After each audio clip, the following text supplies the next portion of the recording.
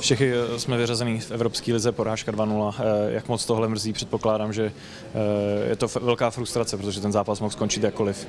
Je to velká frustrace, já jsem z toho velice zklamaný, Mm, musím mluvit i za kluky, prostě jeli jsme sem, že, že chceme vyhrát, že chceme postoupit, nepodařilo se nám to a, a jsme z toho všichni zklamaný, ale říkám, to vlastně rozhodlo to o té penaltě, já nevím, já jsem záznam neviděl a myslím si, že to penalta nebyla, ale to je prostě fotbal. Jak to na tebe působil ten zákrok? Co se tam stalo? Ono to byla schrumáž, takže tam z našeho třeba místa nebylo tak moc vidět. On to vlastně jakoby centroval na zadní tyč a já nevím, jak to tam přesně bylo, já jsem se vlastně otočil a akorát jsem viděl, že, že hráč vlastně z Bernu je, je na zemi a akorát jsem se podíval na rozhodčího a on odpískal vlastně penaltu, takže a ještě vlastně Kadeřovi dal žlutou, takže já, já jsem ten, ten souboj neviděl a nevím, jak to tam bylo.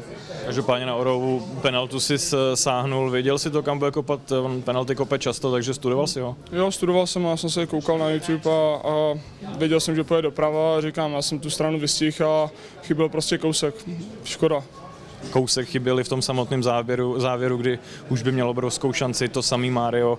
Eh, Je to taková smůla, která stojí taky za tím, že jsme eh, se bohužel při té cestě zastavili. Tak je to velká smůla, říkám, první, první poločas jsme tam vytvořili spoustu eh, vlastně šancí, Golman musím taky pogratulovat, že chytal super a, a i druhý, druhý vlastně poločas tam Pepik měl výbornou hlavičku, kdy to eh, super vytáhl a vlastně Mário ke konci měl taky šanci, takže těch šancí jsme se vytvořili dost, ale bohužel si myslím, že prostě ta penalta rozhodla zápas a mm, to, to, je, to je fotbal.